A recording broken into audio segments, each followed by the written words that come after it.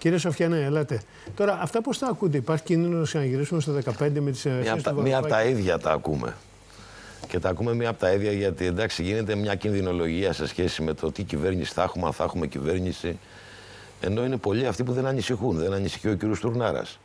Δεν ανησυχούν οι επενδυτικοί εκεί. Δεν ανησυχεί η Ευρωπαϊκή Ένωση, η Κομισιόν, το ΝΑΤΟ, ο Στόλτεμπεργκ. Οι Αμερικάνοι φίλοι τους δεν ανησυχούν. Ξέρουν ότι τα συστημικά κόμματα θα τα βρουν. Γιατί τα έχουν βρει όταν ψήφισαν τρία μνημόνια, όταν ψήφισαν με τα μνημονιακούς νόμους, όταν ο ένας έκοβε και ο άλλος έραβε, όταν ο ΣΥΡΙΖΑ και το ΠΑΣΟΚ ψήφισαν την πλειοψηφία των νομοσχεδίων του Μητσοτάκη, του κακού Μητσοτάκη. Άρα θα έχουμε κυβέρνηση νικητών, ηττημένων, συνεργασίας, αυτοδυναμίας, θα βρεθεί λύση. Αυτό του το θέμα είναι, πώς να σας πω, ο, ο, ο Βαρουφάκης ε, και το κόμμα του κυρίου Βαρουφάκη είναι και αυτό κομμάτι αυτού του συστήματος. Κυβέρνησαν μαζί με το ΣΥΡΙΖΑ. Υπουργοί του ΣΥΡΙΖΑ ήταν. Και αυτός και ο κύριος Στρατούλης. Δεν ήρθαν από το πουθενά. Ο κύριος Βαρουφάκης έλεγε για το 70% που είναι καλό το μνημόνιο. Έκανε την, ε, την, τη μεταμνημονιακή γέφυρα για να πάμε στη συνέχεια. Εν ολίγης θέλω, θέλω να πω ότι υπάρχει ενότητα πολιτικής υπάρχουν κοινοί στόχοι, κοινές στρατηγικές επιλογές από τα πιο μεγάλα μέχρι και τα πιο μικρά. Γιατί αρνήθηκαν την κατάργηση των πληστηριασμών πρώτης κατοικίας με συγκεκριμένο εισόδημα που πρότεινε το ΚΚΕ. Γιατί αρνήθηκαν την κατάργηση του ΦΠΑ στα είδη πλατιάς λαϊκής κατανάλωσης για αυτή την περίοδο. Υπάρχουν λοιπόν, υπάρχουν, ε, ναι, εσείς είπατε να μειώσουμε, ταυτόχρονα όμως μέσα στο καλοκαίρι ψηφίσατε τη μονιμοποίηση των ειδικών φόρων κατανάλωσης στα καύσιμα, γιατί αυτό συνιστά Ευρωπαϊκή Οδηγία. Γιατί είσαστε το κόμμα και, και εσείς της Ευρωπαϊκής Ένωσης, και πρόταση για αυτό τώρα, της Κομισιόν, τι πρόταση, για, να μει, για μείωση. Του φόρου, και ταυτόχρονα ψηφίσατε, και ταυτόχρονα ψηφίσατε να έχουν μόνιμο χαρακτήρα.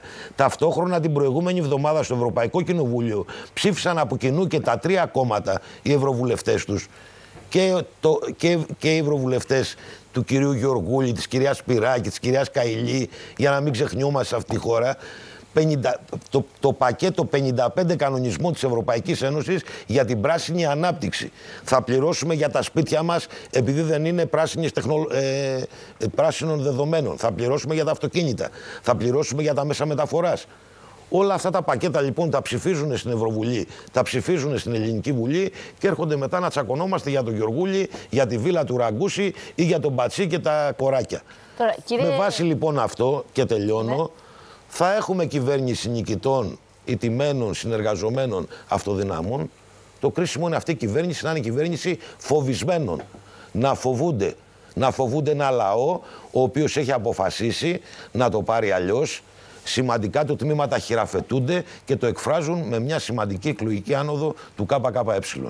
Γιατί αυτό σημαίνει ότι την επόμενη μέρα μπροστά τους θα βρουν λαό αποφασισμένο να διεκδικήσει κόντρα στους πληστηριασμούς, αυξήσεις, να διεκδικήσει να σταματήσει η Ελλάδα να μπλέκεται στο μακελιό της Ουκρανίας, γιατί πρέπει και αυτό να μπει στην κουβέντα. Και, και αυτό. Κύριε το, σίγουρο είναι ότι έχουν, το σίγουρο είναι ότι έχουν κουράσει. Έχουν κουράσει όλα αυτά τα μεγάλα λόγια, οι υποσχέσεις. Θα δούμε 950 ευρώ, λέει, στο τέλος της τετραετίας ή θα καταργήσουν, θα διαμορφώσουν, θα λύσουν. Ε, καλά, πάντως είδαμε αύξηση του κατώτατου μισθού. Δεν μπορούμε ε, να τους κατηγορήσουμε για αυτό. Είδαμε 15% αύξηση του τιμάριθμου, η οποία έχει εκμηδενήσει αυτή την αύξηση και ουσιαστικά στο εισόδημά σας είναι λιγότερο.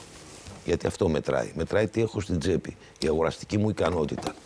Στα πλαίσια λοιπόν αυτά και επειδή δυναμώνει, μεγαλώνει αυτό το κομμάτι του λαού μας που λέει κανένας από τους δυο. Που λέει κανένας από τους δυο γιατί έχει εισπράξει αυτή την πολιτική τόσα χρόνια. Κυβερνήσεις αλλάζουν και η κατάσταση παραμένει ίδια. Μάλιστα. Με βάση αυτά τα δεδομένα, λοιπόν, πάρα πολύ. το συμπέρασμα είναι κουκουέ απάντηση.